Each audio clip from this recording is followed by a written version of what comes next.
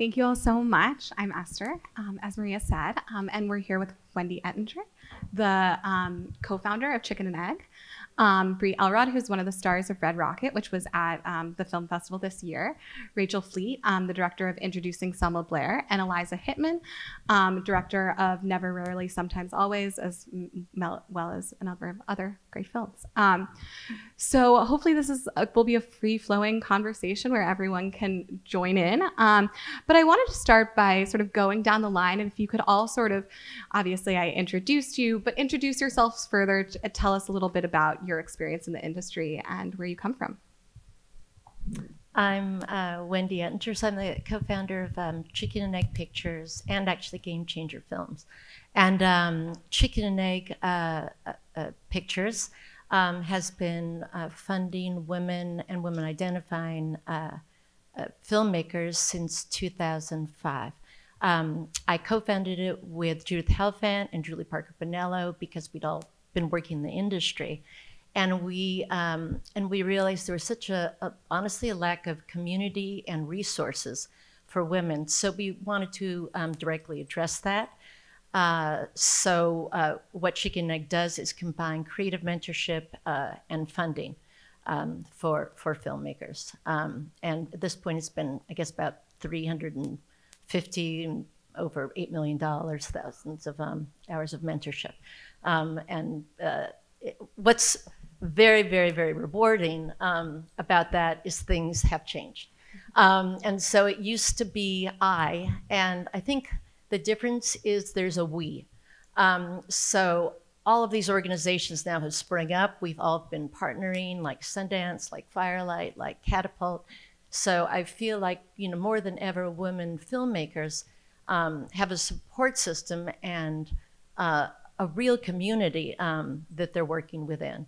Um, and then just a, a, brief word about Gamechanger Films. That was the first uh, fund to finance women narrative directors. And that was in 2013 because, again, women were not, still not getting um, financed uh, in the way they, they should. Um, and I can talk more about that later. That's amazing. Um, I'm Bree Elrod, and I was in, uh, am in Sean Baker's amazing, wild, beautiful ride called Red Rocket.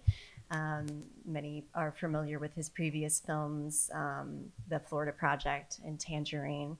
And I am mostly traditionally have been a theater actor. So this is one of this is my first um, co-starring lead role in a film, and I am absolutely honored and thrilled to be a part of it, and also honored and thrilled to be a part of the New York um, Film Festival. So that's me.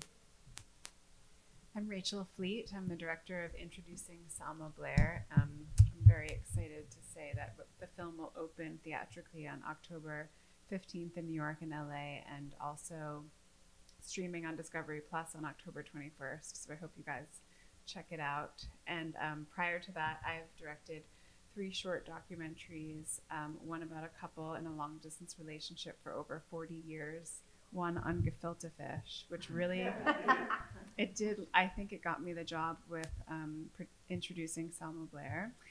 And um, another one about uh, two female trans cinematographers who have a really unique friendship named uh, that's called Ava and Bianca and then I have some narrative projects that I'm working because I do want to straddle the line between documentary and narrative, and even what even is the difference. In in some ways, stories are stories, and then when I'm not doing that kind of stuff, I sometimes direct commercials. So um, all across the board, and I'm so honored to be a part of this panel with these amazing women.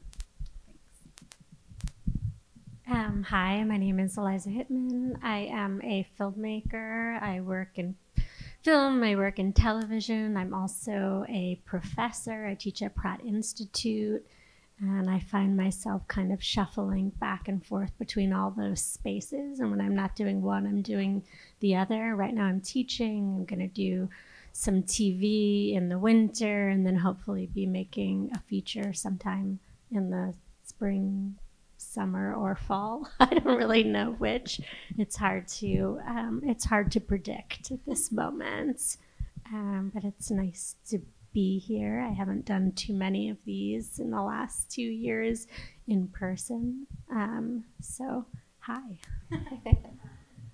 Um, Wendy, I wanted to touch on something that you said because um, you mentioned sort of the change from the I to the we. Um, and I was wondering, sort of, from your years, both as a producer and as a co founder of these organizations, um, what are some of the biggest changes you've seen sort of for women in this space um, over the past several years? Uh, well, ownership is one. So um, you'll see a lot more EPs on narratives and docs. And I think, um, honestly, like in 2005, um, women necessarily weren't uh, uh, financing things on their own. It was different. It was, you know, maybe the men. So um, I think there's been a, a, a change there, um, which has been critical. And then more women are directing, um, either because they're putting together their own production companies, which is fabulous, um, uh, or you know, there's now been a, such an awareness in the industry um, that there have been so many missing voices um, that now everybody's grabbing women um, uh, and has been, um, and so that's a that's a, a great change um, as well. Yeah, I was Eliza. I was wondering if you could comment on sort of the financing angle. Obviously, like as an independent filmmaker and the struggle to sort of get financing, get financed, and how how from your sort of debut to Never Rarely, Sometimes Always, which was released by Focus, that's changed? Um, I don't. I think, um, yeah, every project has been very different, you know, and comes with its own set of challenges. I would say I haven't had like a, you know, a like a direct path into the industry. I don't think any of my films will be that easy to finance, if I'm being honest, because they deal with topics that we are culturally very prudish about. And I don't think that that's something that will change from movie to movie. Um, I yeah, I mean the first movie I made was a micro budget feature and I sort of did the fundraising for it. I had like a Google matching grant and you know raised like $20,000 and then I had a few financiers who I was connected to through the cinematographer and they're like, "Well, if we like the first cut, we'll put in a small amount of money." And I think you know that's kind of always the obstacles that you face as a female filmmaker is that there's always like another set of barriers. Like people can't just support you out the gate. Um, but from there you know i sort of built a long relationship with Cinereach and they've been involved in the development of my career and sort of involved in um, you know, they fully financed Beach Rats and have given development money to every project that I've worked on, essentially.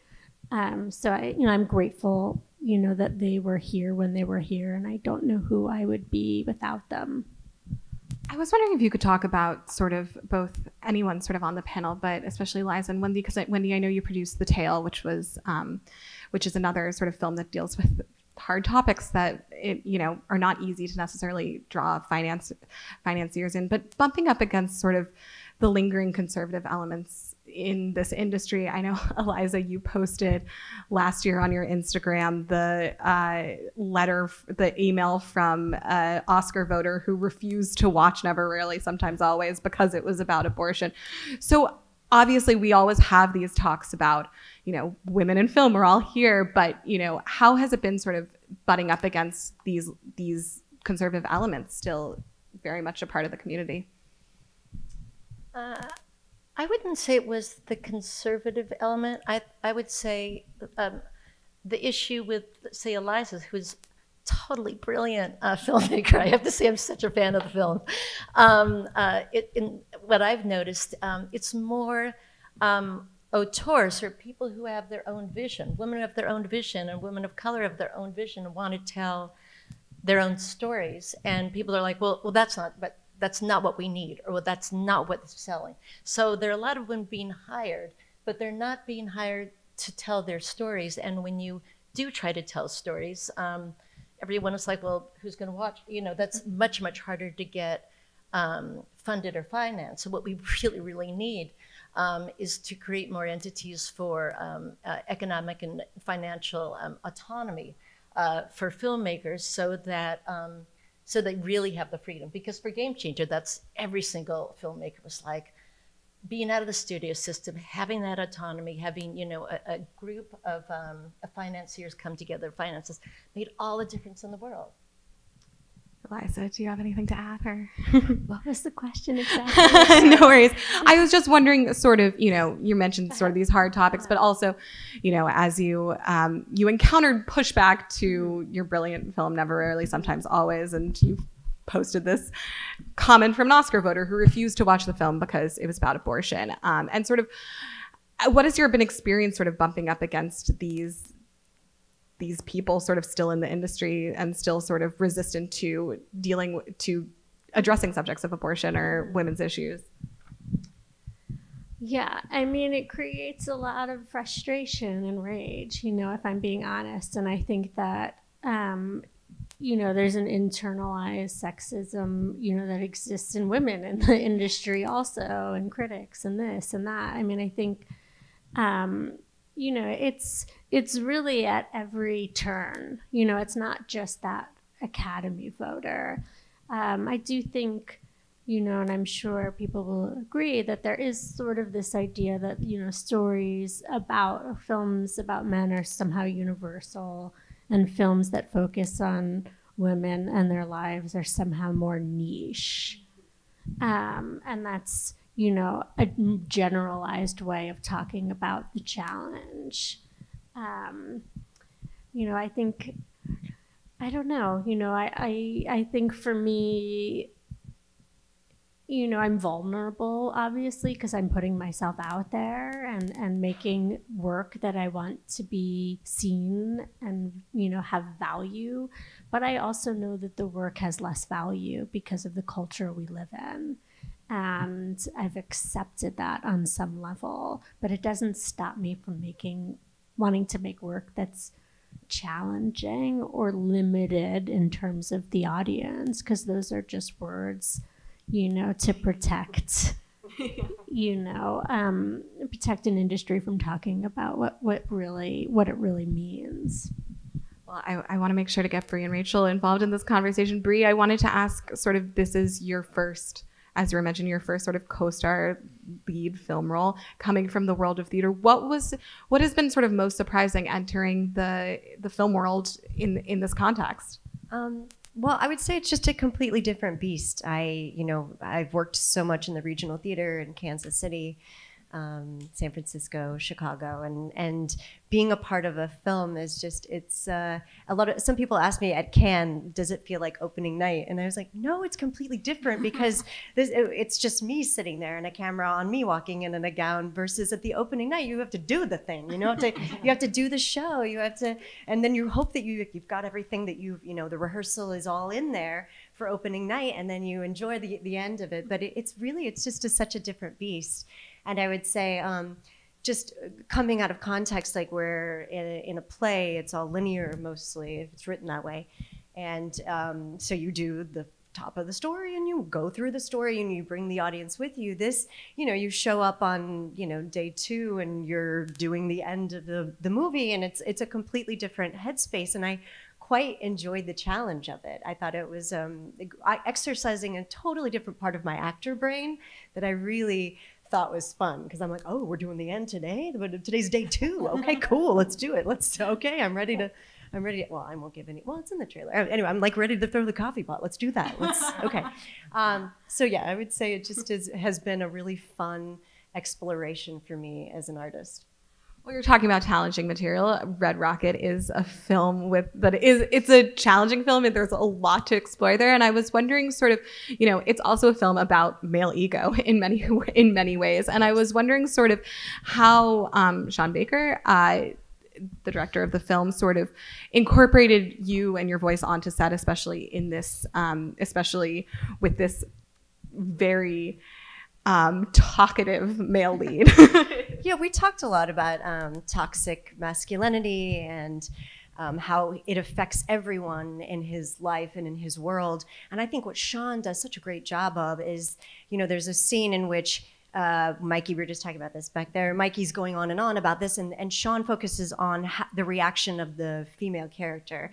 And he does that with several moments uh, with June and with Strawberry. He focuses on how this is a- affecting the women in this world and how it's not just about uh, how this man exists in it, but how is how are these women operating within this world?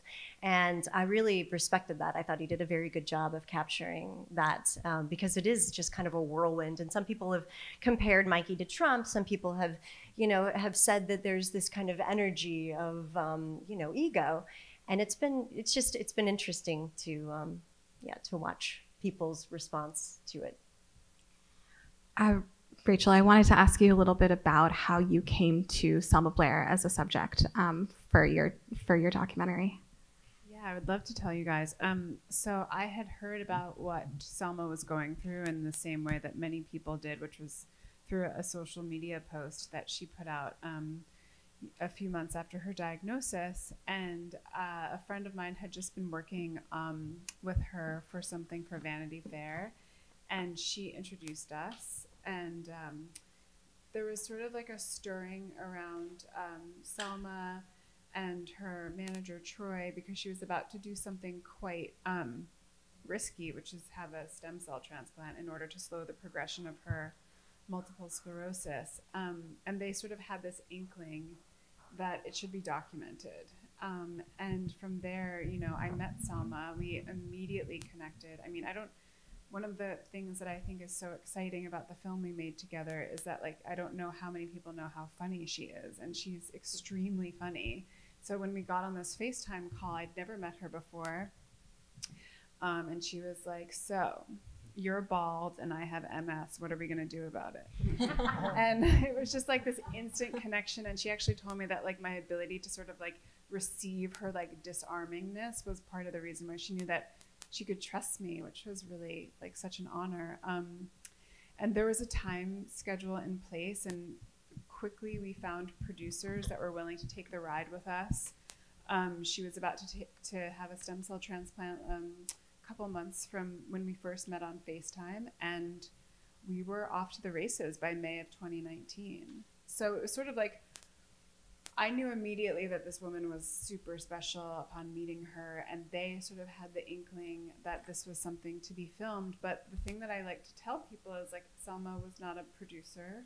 She didn't step foot into the edit. She nothing was off limits. We could just, you know, capture what was happening in her life. Um, it's a verite documentary, and we go on quite a ride with her. So. Yeah, and it's, it's so moving. I was wondering if you could also talk about how your sort of experience, your personal experience, sort of in this industry in Hollywood, sort of, and also, and how you saw them connect, and how you saw them, um, it, and how your experience of your your time evolved with looking at Selma's experience of her time in the industry and in Hollywood.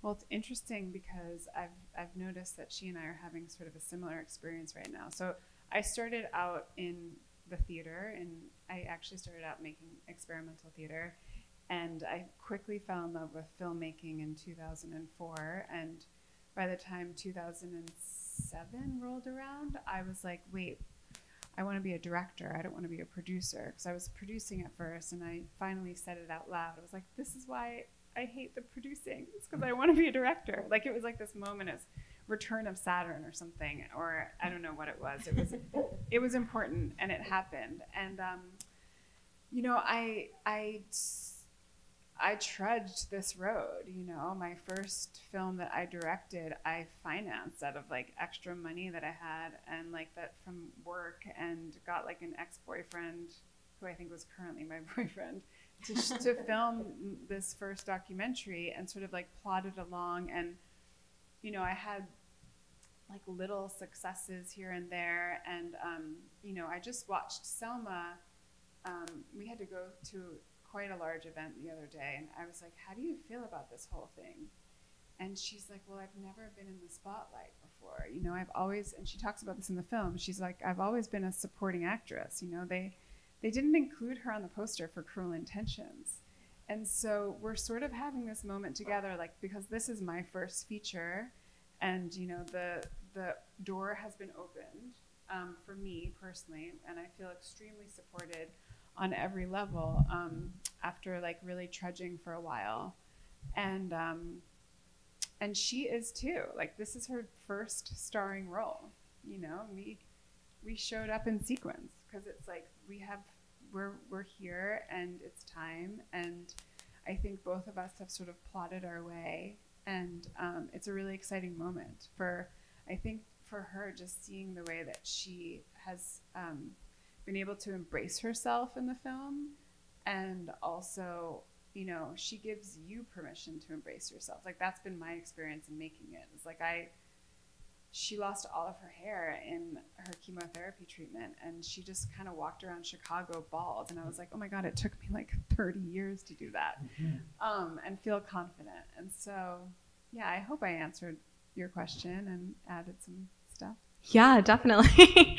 um, super helpful. I, I was wondering if you, if anyone could sort of talk about, um, obviously, Eliza, you've worked in TV and um, and made and your films, and but just sort of if you see sort of a difference um, in the way women's roles are evolving in different sort of corners of the industry, TV versus indie film versus studio work.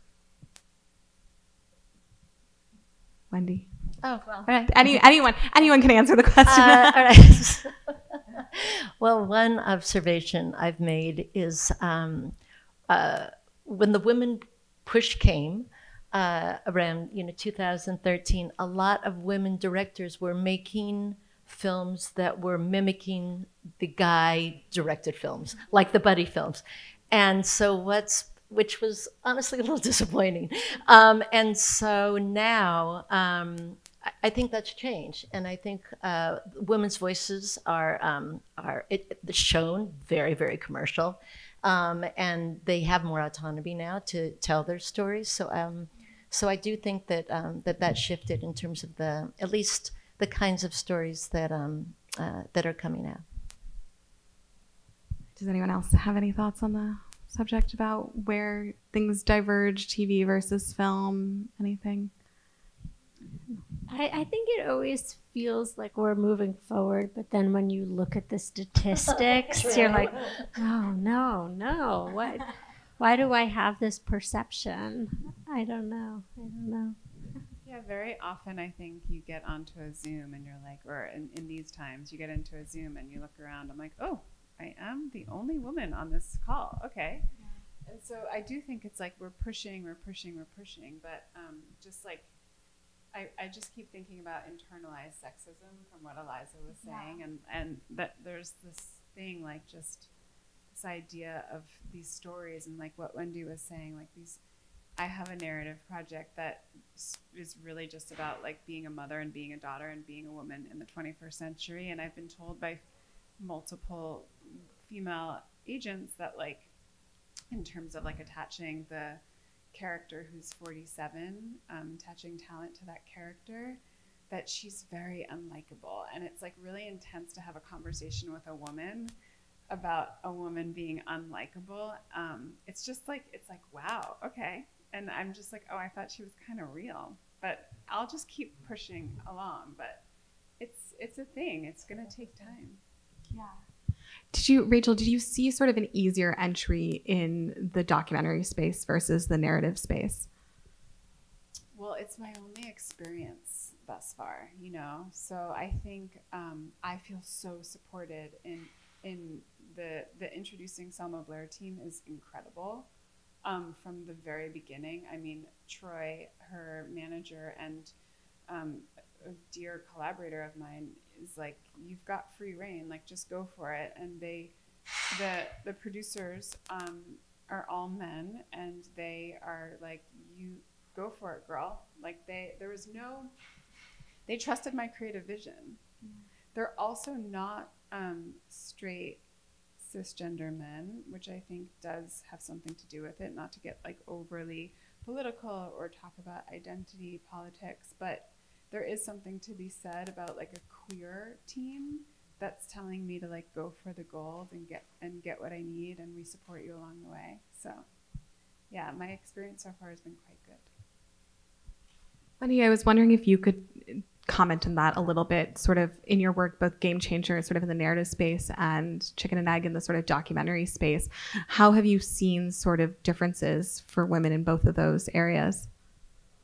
I think just kind of echoing what you're saying, it's what's been really, really interesting to watch is there are a lot of all female crews or all queer crews. It's like everybody's kind of, let's, okay, let, let, us do this together. And it's really powerful um, when it happens. Um, and, um, and, and so I've loved, I've loved that. Um, I, am going to just say one thing about Chicken Egg for those who don't know.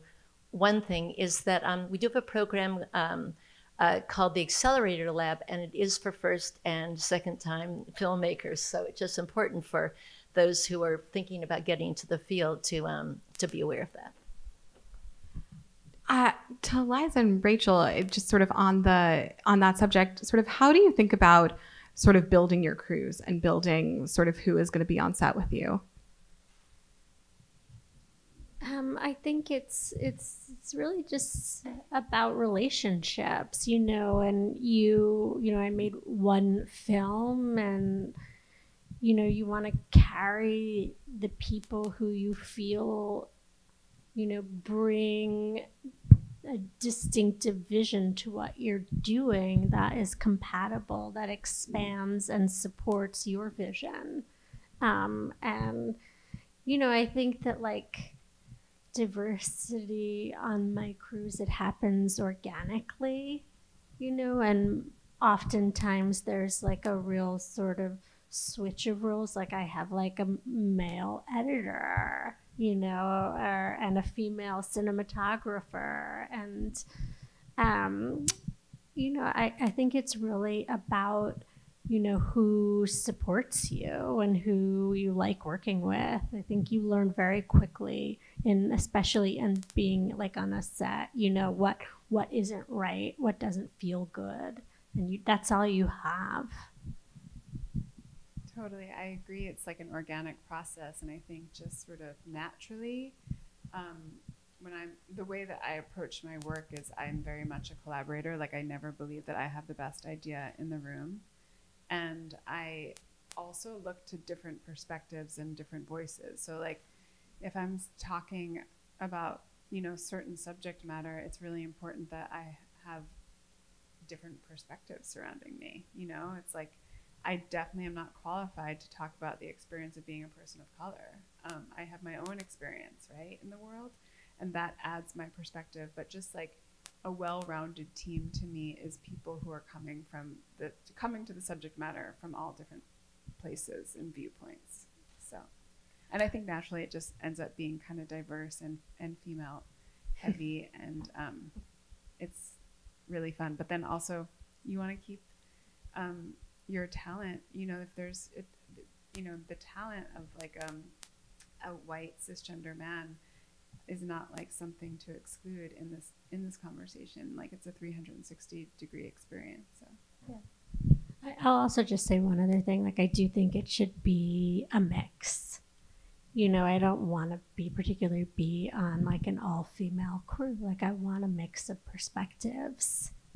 And I would say on Red Rocket, we had largely, we had a lot of female producers, and we had probably half and half. We had a very small crew because of COVID. I mean, we were, I mean, it, filming during COVID was a whole, uh, talk about another beast. That was another beast.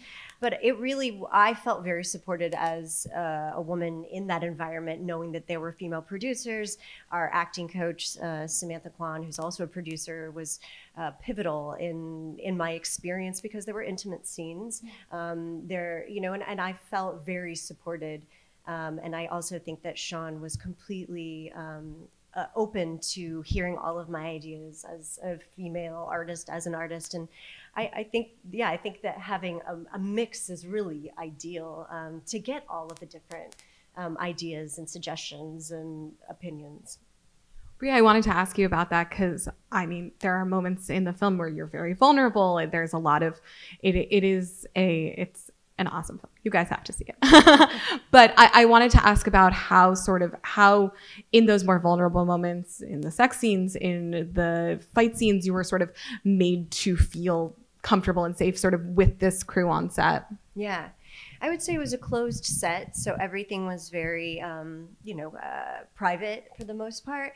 And I would say that we had really good conversations before each scene of what story are we trying to tell with this intimate scene. And each one had its own story. You know, there's a scene where Lexi's on top, and that is saying something because in the first one she's not. You know, there, Sean and Chris, the way that they wrote this, it was very deliberate and very specific. And so with each one, we talked through it completely before even going through the motions. It was not improvised. Um, that said, we had a lot of fun with it, and definitely there's, I'm sure, many outtakes that are wild and crazy. But um, but I would say I felt completely comfortable and supported, and Sean was very uh, much uh, in, in, tune with that and asking me each time, "Are you comfortable doing this?" And when we would film something, he would come and say, "Bree, look at this. This is what you're seeing," you know, and I'd say, "Ah." awesome okay great you know because you're just wearing like nude colored things or if you're completely naked you want to know what what what story are we sharing and what are you sharing of me and what is my family seeing what is my dad going to see I, w- I wanted to ask Rachel a question. Am I allowed to yeah, ask? No, yes, yes, please, please. I want you guys. I want all of you to ask each other questions as well. Just thinking about this idea of you know what kind of environment you create and want to work on on set. You know, I I don't. I'm not a doctor, but I know that there is like a pretty high mortality rate for stem cell transplants, and I'm just like curious, like what what is it like to work with this subject that might not make it through the process of making the film? Thanks. That's a really good question, Eliza. Um, I had. It's really interesting because we've. I've been thinking about this process so much lately, as like reflecting back, and the film's coming out so soon, and you know, Selma is very funny, and she made a lot of dying jokes, mm-hmm. and she would be like, I mean, it's kind of a good ending, you know. She kind of like was very like her her dark humor was something that kind of pulled me out of the reality, to be honest. And because um, each step of the process was so intense for her, I actually just like would go in and film. And in the back of my head, I always knew this was possible, but I didn't want to believe that it was possible. And so I was in a state of a little, like a little bit of a fantasy state, I guess, to be honest, and just like hovering above that reality and just like laser focused on like my task at hand, which was like, okay, it's day 19 of the isolation. Like, what is happening here? And I'm going to go in, I'm going to film. And I actually, because we weren't allowed to have camera crews during her like serious lockdown, she like basically was quarantined during this process. Um, you could only go in as a visitor, um, you know, with strict hygiene. And so I actually got to film her stem cell transplant on my iPhone, which was amazing. Um, but it wasn't until the edit that I looked back and I was like, that was scary. You know, it wasn't like I feel like I, in order to be present for my subject, I had to kind of hover above the reality. And then once we're in the edit, I was like, this is like a horror film. And um, there are parts of it that, and we leaned into that. And um, with the score, um, it was scary. It was real life. It was life and death, right? Like we always talk as auteurs about like what are the stakes, and the stakes were pretty high. They were exceptionally high. So every time she said goodbye to her son, it was really emotional because it was like we don't know. We just didn't know. So I think my brain sort of clicked into a survival mode as an artist and just was like, okay, capture the task at hand. Um, yeah. Yeah, I, you know, I was, I've been thinking a lot about like, you know, what you went through making that film and just sort of thinking about how it ties into our conversation and just, you know, the fact that she was so sick and nobody believed her you know like why don't we believe in the importance of these stories that people are telling about their lives and the fact that she couldn't convince doctors she was sick? And here we are talking about telling convincing producers and financiers and studios that these stories are relevant and urgent. And also sort of in terms of selma's story the way the media sort of treated the lead up to her diagnosis and when she was struggling in public because she was a public figure, sort of using it as, as tabloid fodder. That al- also is really connected to this whole conversation. Yeah, I think that's got to be so interesting just to be so visible, to be a celebrity going through something that it's hard because we we put these celebrities on a pedestal and we want them they're they're all healthy they look perfect they everything's and when someone is so honest and vulnerable about something that's life or death it reminds us of our own mortality and i think that's really scary and i think it's such a brave thing i'm really excited to see this film because i think it's such a brave thing to share with the world when we want to you know there's a lot of celebrities who end up passing and you're like i never knew they even had i never knew i never knew. And so to actually say this is happening and i'm going to show you at every step of the way i think is beautiful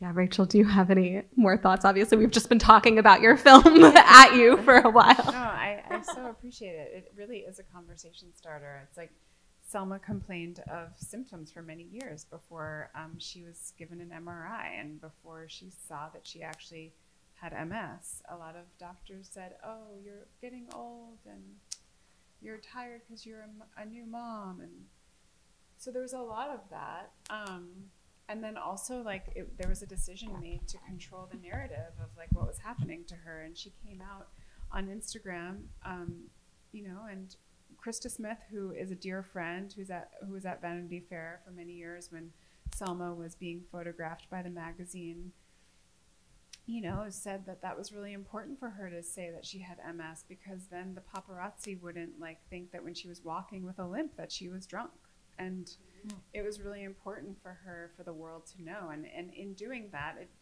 you know besides just being like open about what's going on which i think she really chose to do in, in a very elegant way um, also it's like she starts to help people. I mean when she when she came out with her ms um, she said this is not in the film but she said that um, she was so exhausted from the writing the post. She sort of took a nap and slept for many hours this that weekend because that was one of the symptoms of her MS. And when she woke up, there was like, I mean, her phone had just blown up. Her Instagram had just um, erupted because of her honesty. Um, and so, yeah, she was honest because it was also a way to protect herself, but it also in turn helped so many people. I know we have to wind down quickly, but Bree and Eliza, I wanted to ask you both um, both Never Rarely, Sometimes Always, and Red Rocket are looking at women in communities, um, in rural communities that don't often get depicted on, you know, in in studio film. And I was wondering sort of how you thought about how the responsibility to the women in those communities that you were portraying. I I felt like there was a very great responsibility to really listen and honor the community. Um, in South Texas, we filmed this in Texas City. And um, many people, uh, Sean Baker is kind of notorious for street casting, and those are some of my favorite stories from the film. Are people being like, "I worked at a refinery, I was laid off for COVID," then Sean Baker pulled up and was like, "You want to be in a movie?" That's my friend Brittany Rodriguez. Um, and and my the woman who played my mother, um, Brenda, she lives in that community and and that down there it's very um, ominous and dangerous because of the refineries and there's a lot of a lot going on down there and so i felt like sean was really trying to shine a light on what these people who are surrounded by this power and this money and yet they are living these lives just trying to make ends meet and trying to everyone wants to live a good life. That's all, you know, and I think that's the story that he's really trying to share. And so I felt a great responsibility. I, I didn't want people in that area to see this film and be like, that's nothing like, you know, what we're experiencing. And I think he he found locations that the house that we filmed in many of my scenes, and just meeting Brenda and being around Brenda, I was like, okay, okay, I'm feeling what you've been experiencing. And I was so honored because in between takes, she would tell us stories about growing up in the area and what it was like. And, and um, yeah, I, I, think he shows an underbelly that also is hard for people to really uh, want to admit is existing in this country. Um, and so I, I felt honored to be a part of it.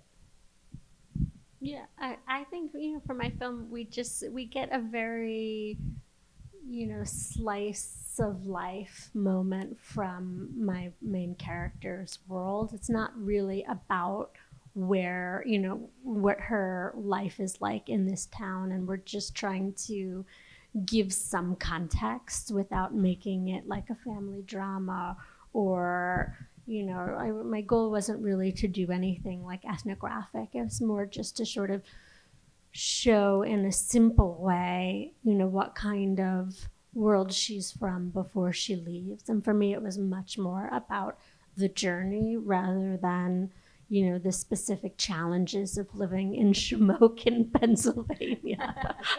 um, uh, but I, do, I was intrigued in that town, uh, with that town and that place, um, for for reasons that aren't explored necessarily in the film. Um, but for me, it was much more about what it's like to be from someplace else in New York, navigating a crisis and a city that you've never been to in 48 hours you know and that was really the um, intention and it was less about you know the the exact place well to conclude I, I wanted to sort of end on an optimistic note. What are you all hopeful for? What are you excited for for the future of women in this industry?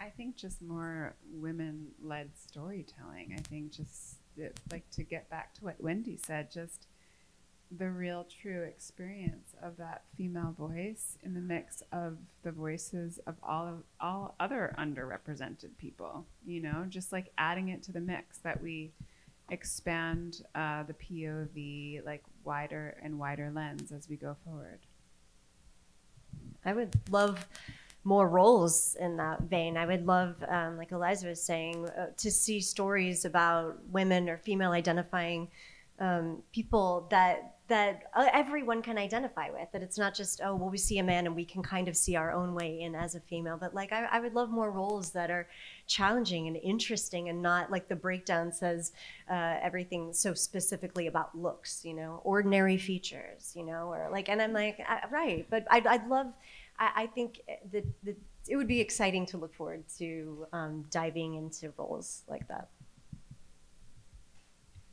Oh wait, wait, wait! I'm gonna throw something in. So, um, so, uh, significant pictures run by um, uh, you know Nina Jovi and um, uh, Gamechanger Films. I'm sure others have these shadowing programs. So um, for unrepresented um, uh, voices. Uh, they're able, and, and um, possible producers. Essentially, they are brought onto sets to work directly under other producers. So this this very um, great kind of mentorship. So I would, I think it's about nurturing that pipeline, especially women of color, and um, uh, and getting them in there so that they have um, the experience, very hands-on experience and connections, because um, there's a lot of catching up to do. Well, great. Thank you all so much for coming.